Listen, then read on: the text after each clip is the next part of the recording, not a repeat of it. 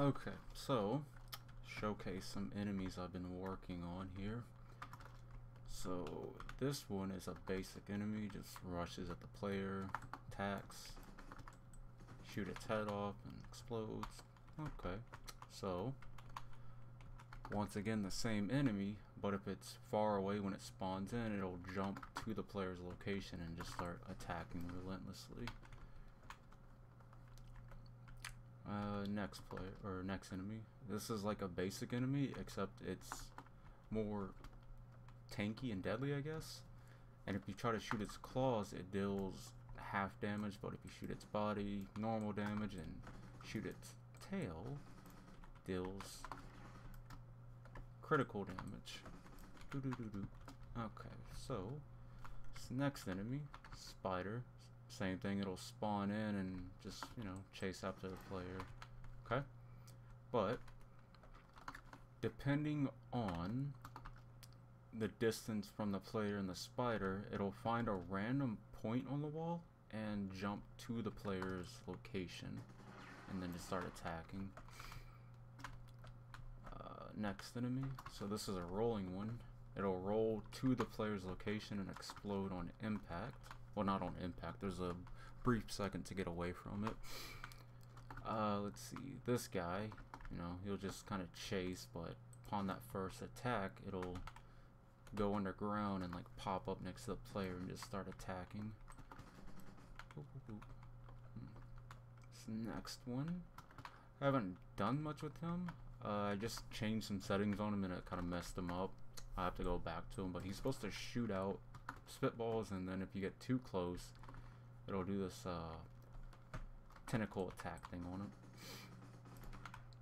But that one's a little bug. Same thing with the health bar at the top. That's supposed to be like a boss health bar, but I don't have it hidden right now. Then you have this, a turret, so I can start attacking it, and once it loses some health, it'll start attacking the player. destroy that. And then if you get too close to it, it'll start attacking because, you know, too close. You can just destroy it that way too. And the final enemy, it's kind of like a boss. I don't know if I want to make him like an actual boss or just a mini boss, but spawn and start chasing the player and just uh, it has armor on and you can either shoot the armor off and make it go away and it exposes its skin so you can attack him.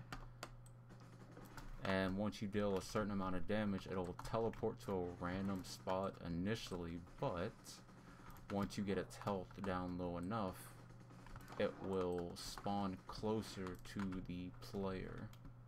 So right now it's still at that spot where it'll like spawn away from the player. A little bit more should start to, yeah, spawn near the player. So let's see what happens, like right there. I don't remember how I have it set up exactly, if it'll spawn, try to spawn behind, or just randomly, which I think it's random.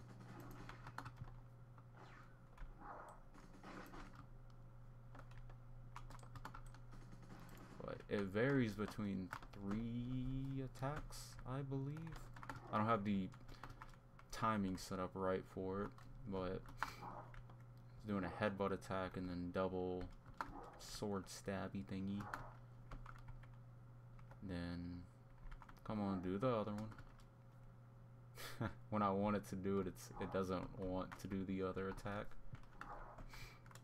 But it should have like a sword attack with both of them where attacks with one and then the other like that. Yeah, there we go. Talk about it and then it finally wants to happen. That is the showcase for the enemies so far.